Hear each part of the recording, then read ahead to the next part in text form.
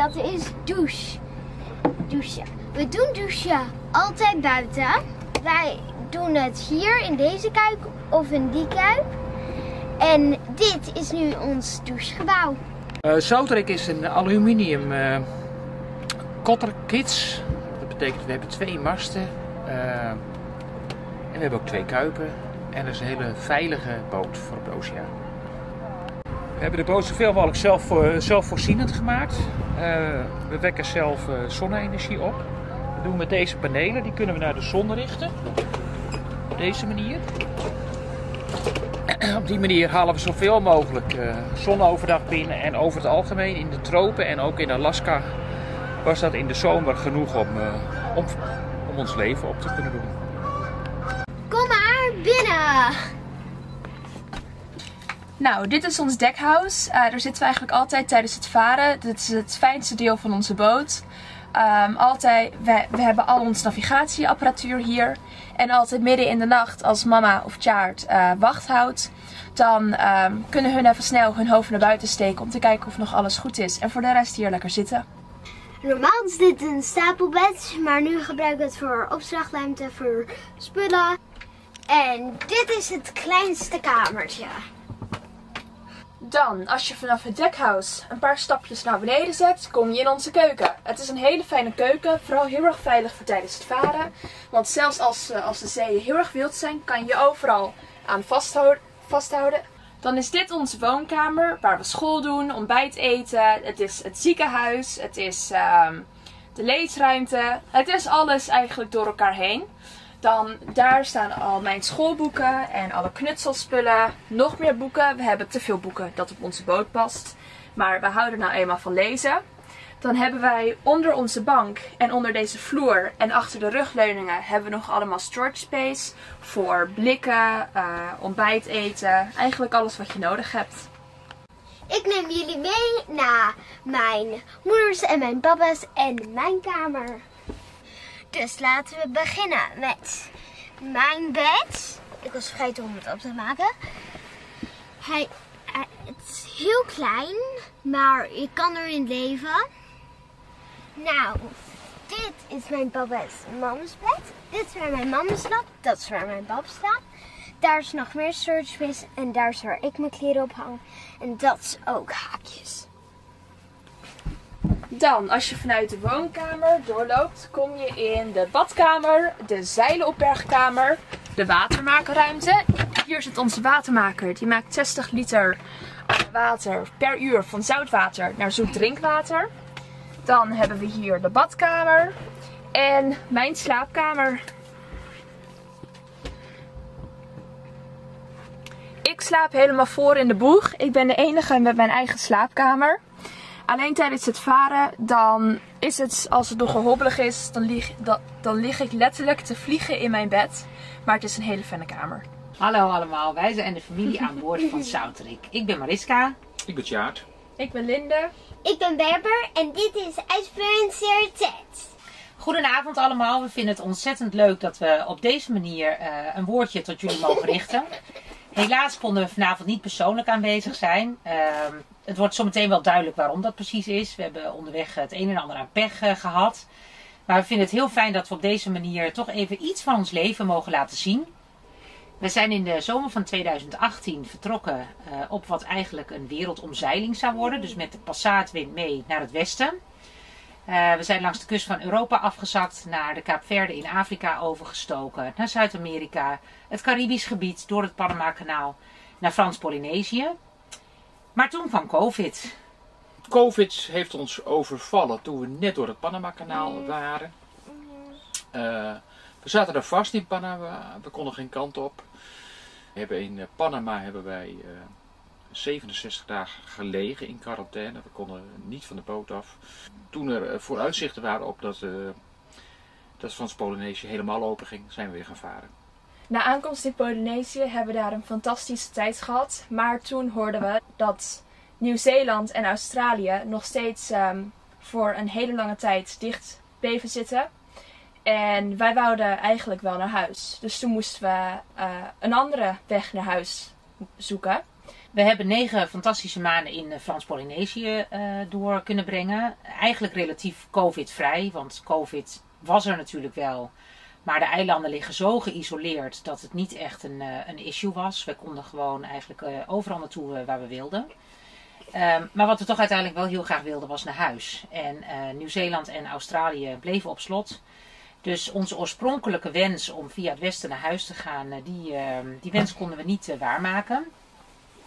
Uh, dus moesten we op zoek naar andere oplossingen. We wilden niet uh, de boot verkopen, we wilden ook niet de boot op transport zetten en we wilden ook niet uh, de boot in Polynesië achterlaten en zelf naar huis vliegen, want er waren te veel verhalen van mensen die vervolgens niet meer terug konden naar hun boot. En bovendien waren we deze reis begonnen met z'n vieren en we wilden hem eigenlijk ook met z'n vieren op de boot graag afmaken. Dus hebben we de hulp gezocht van de Nederlandse ambassade in Amerika. Want als je niet naar het westen kan, en je kan ook niet terug naar het oosten, dan is er eigenlijk maar één weg die overblijft en dat is naar het noorden. Na vier maanden lobbyen bij de Nederlandse ambassade en de hulp die zij dan weer hebben gezocht bij de Amerikaanse autoriteiten, uh, kregen wij het voor elkaar om zonder visum uh, op Amerikaans grondgebied uh, te mogen aankomen. Toen zijn we vanuit Frans-Polynesië naar Hawaii vertrokken. Toen op Hawaii daar hebben wij ongeveer acht weken rondgevaren en het waren prachtige eilanden. Toen zijn we overgestoken naar Alaska. Daar hebben we ook vanaf juli tot oktober rondgevaren.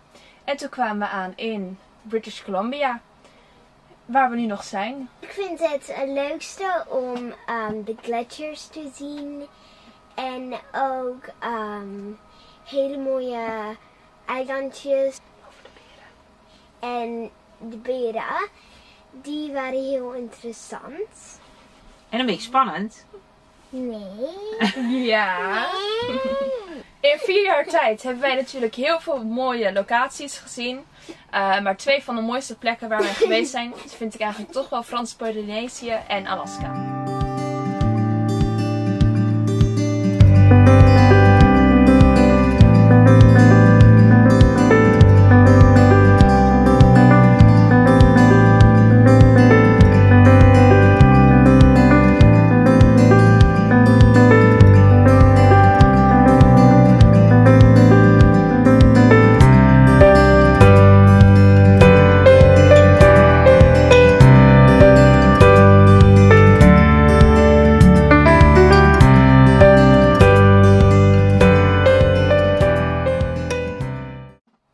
Laatste dag van de visa kwamen we aan in, eh, in Canada, in Prince Rupert. Vervolgens hebben we de tijd genomen om de Inside Pass te doen. Dat hebben we in uh, november en een stukje december gedaan. Uh, dat was heel bijzonder. Prachtige natuur. En ja, het weer was wel najaarsheftig. En het allerleukste was, we waren er alleen. 5 december zijn we aangekomen in, in Campbell River. En dat was de plek die we hadden uitgekozen om, uh, om langere tijd door te brengen. We kenden daar wat mensen, dus we wilden daar heel graag kerst en oud en nieuw doorbrengen. En dan zouden we ergens in de loop van januari weer langzamerhand de rest van Vancouver Island richting het zuiden gaan verkennen. Maar toen gooiden wat reparaties roet in het eten. Ja, we hadden al een tijdje wat, uh, wat problemen met de motor. Het zag er niet groot uit, maar het, het bleek niet op te lossen.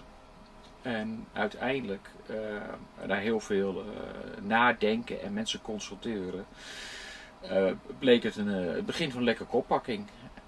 En toen hadden we maar één keus, de hele motor uit elkaar sleutelen.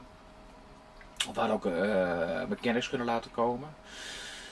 Daar hebben we ook offertes voor gevraagd. Aanvankelijk voor een kleinere reparatie, maar toen we dat uurloon zagen, 150 dollar per uur, toen dachten we, nou dat gaan we niet doen. En toen heb ik besloten om het mezelf te doen met, uh, met hulp van, uh, van andere techneuten. We zijn de hele motors uit elkaar geweest. Uh, nieuwe onderdelen moeten bestellen. Toen hadden we de motor weer in elkaar. Toen was er weer wat stuk met de, met de warmtewisselaar. Afijn, daar is er ook vervanging voor gekomen. En eigenlijk sinds de tweede helft van maart hebben we weer een goed draaiende motor. Tijdens onze tijd in Campbell River en tijdens de motorproblemen namen we af en toe een dagje vrij dus op een zaterdag dat wij gingen wandelen, hadden we een sleetje meegenomen en gingen we sleeën. En was ik van de slee afgevallen en had ik een, heb ik een hersenschudding en, uh, en een whiplash. Nou, dat, uh, dat ongeluk uh, is inmiddels acht weken geleden. We zijn naar de eerste hulp gegaan in het ziekenhuis. Was gelukkig niks gebroken. Um, en het herstel werd op een paar dagen geschat. Maar dat is inmiddels acht weken geleden. Linde heeft 24 uur per dag last van hoofdpijn. Het feit dat we weer zijn gaan varen helpt helaas niet mee. Um, alle beweging, alle licht, alle geluid zorgt ervoor dat bij haar de hoofdpijn nog verder wordt aangewakkerd. Um, dus dat stelt ons wel voor wat uitdagingen. En um, we houden er rekening mee dat het, een, dat het een lang traject kan gaan worden voordat ze zich weer helemaal beter voelt en weer haar dagelijkse schoolwerkzaamheden en andere dingen kan gaan oppakken. We liggen nu in Victoria. En op dit moment is even van belang dat we ons, ons visa, want dat verloopt 19 april, dat we dat verlengen. En dan, uh, daarna zijn we bezig om, uh, om, te onderzoeken hoe we thuis kunnen komen. Daar, daar, zijn niet zo heel veel mogelijkheden meer voor. We zouden in Canada een nieuw B1, B2 visum aan kunnen vragen om met onze boot door Amerikaans water naar beneden te varen. Die aanvraag kunnen we doen, alleen de wachttijd is 400 dagen. Dus, dus dat heeft geen zin, dat gaan we niet doen. En wat we nu willen, of wat ons voornemen is, is de boot op een truck zetten. Dat kan met deze boot. Ehm, en dan uh, de hele boel naar de oostkust verplaatsen.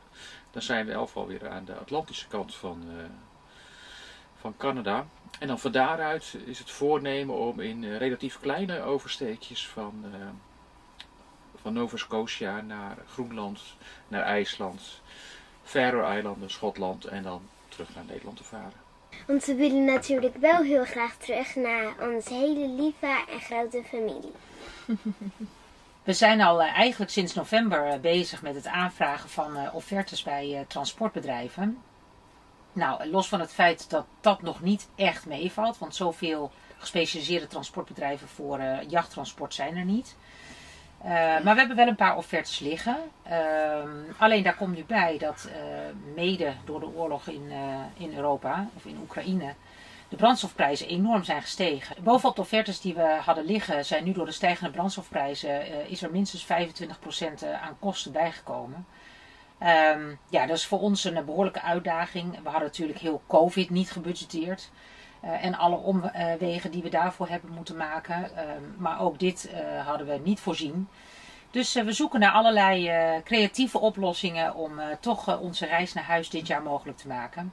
Nou, jullie zijn allemaal ondernemers, dus jullie weten hoe het is om met een uitdaging om te gaan. Zo hebben wij daar ook hele leuke ideeën voor ontwikkeld. Als je het nou leuk vindt om ons op de een of andere manier te ondersteunen. Um, we liggen over 1 à 2 weken in Falls Creek. want we zijn van plan om Vancouver natuurlijk ook te verkennen. We blijven daar wel één of twee weken liggen. En we vinden het altijd ontzettend leuk om Nederlanders, ondernemers, mensen die geïnteresseerd zijn in onze reis aan boord uit te nodigen voor een kopje koffie of een drankje of een hapje. We zijn een, uh, een, actie begonnen op zoek naar bedrijven die ons willen ondersteunen in, in onze terugreis. Er zijn gelukkig al een behoorlijk aantal bedrijven aangeschoven. In ruil voor uh, support van bedrijven bieden we leuke tegenprestaties. Um, denk aan reclame op onze boot die weer terugkomt uh, op social media waar we behoorlijk wat volgers hebben. filmpjes op YouTube, het geven van lezingen, het meevaren met ons. Nou, er zijn legio, mogelijkheden. Hieronder vind je onze gegevens, telefoonnummer en e-mailadres.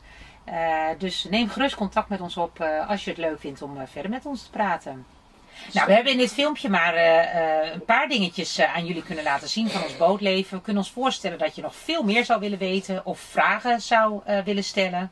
En daarom verwijzen we door naar onze website www.zouterik.com. Daar vind je ook alle linkjes naar onze social media. En daar vind je ook alle mogelijke informatie over eh, hoe onze reis is verlopen en hoe die verder gaat. Komt u ook aan boord? Dat zou heel leuk zijn. En de dag van de familie Zouterik. Tot ziens! Tot ziens! Tot ziens! Tot ziens!